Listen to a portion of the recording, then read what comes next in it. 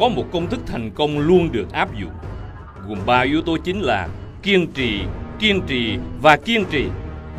Thành công là một hành trình, tuyệt đối không phải là đích đến. Con đường đi càng dài, bạn gặt hái được càng nhiều và hành trang cho bạn không gì khác ngoài một ý chí kiên gan, bền bỉ, sắc son. Thành công không đến với những ai chỉ nỗ lực một hay vài lần. Bạn nhất định phải kiên trì với thất bại.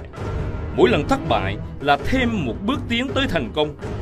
Chắc chắn trên mọi con đường đều có chướng ngại vật. Quan trọng là bạn phải biết vượt lên chính mình và không bao giờ bỏ cuộc. Chướng ngại vật càng lớn thì thành công càng rực rỡ. Và chúng ta chỉ thật sự thất bại khi chúng ta từ bỏ mọi cố gắng.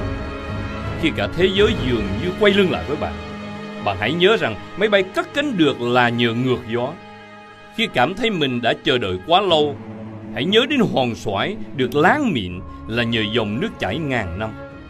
Đừng hỏi tại sao con đường lại quá dài, đừng hỏi sao ngọn núi lại quá cao.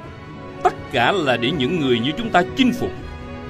Nếu không thể bay thì hãy chạy, nếu không thể chạy thì hãy đi bộ, nếu không đi nổi thì bò. Bằng mọi giá phải tiến về phía trước.